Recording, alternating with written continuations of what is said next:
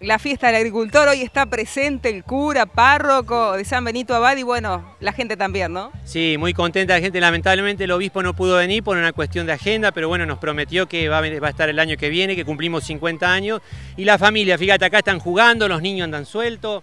Eh, allá están de baile, los otros en la cantina, otros tomando mate, compartiendo. Entonces digo, revalorizar esto, de poder ir a un lugar tranquilo, gratis, ¿no? y para divertirnos en familia, recuperando nuestras tradiciones. ¿eh? Porque todos estos juegos de campo nos hablan de una historia, ¿no? Y es muy lindo. Mucha gente, mucha familia, recién veíamos hasta personas ya adultos mayores que hasta están cesteando bajo la sombra de algún árbol aquí. Sí, la verdad, toda la familia, del abuelo al nieto, de los más chiquitos a los más grandes. Y eso hoy por hoy, viste que tanta inseguridad y que tantas malas noticias, digo, poder tomar un día, y el domingo, que es el Día del Señor, porque nosotros arrancamos con la Santa Misa, es lo primero siempre, en, honor, a María Auxiliadora. Tuvimos la misa, ahora hay compartir en familia. A ver, aprovecho, ¿no? Porque digo, esto que estamos viviendo acá es lo que debería vivir la familia habitualmente.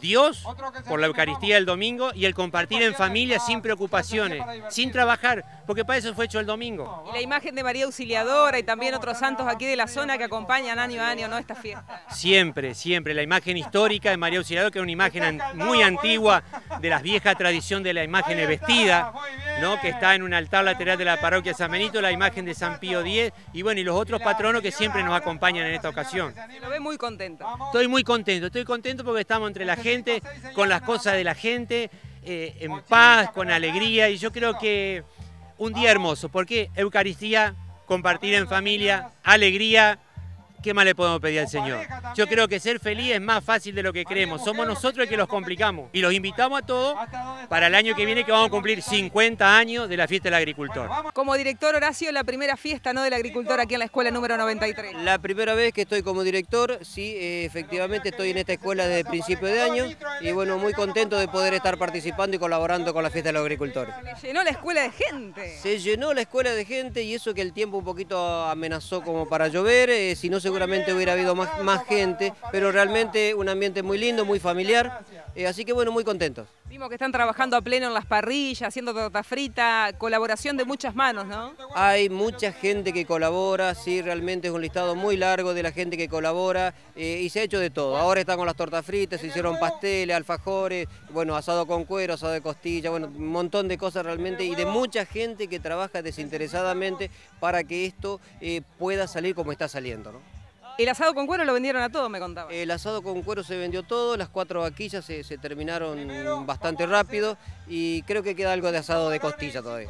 Más que contentos porque bueno, ya comienzan a transitar eh, un año muy especial porque se aproxima el 2015 y los 50 años de esta fiesta. Efectivamente, sí, el año que viene, Dios mediante, los 50 años de, de, la, de, la, fiesta del agricultor, así que esperamos poder organizarnos desde muy temprano ya para que salga lo mejor posible, sí.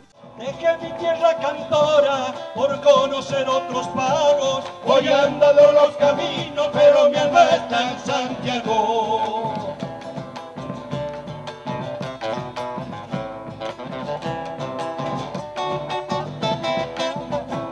Desde entonces vivo solo por las calles de la vida, callada sombra que pasa, carne llena de heridas.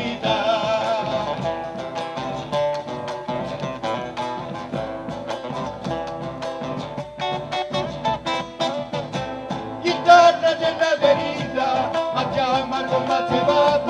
un llanto dentro del pecho me anda llorando.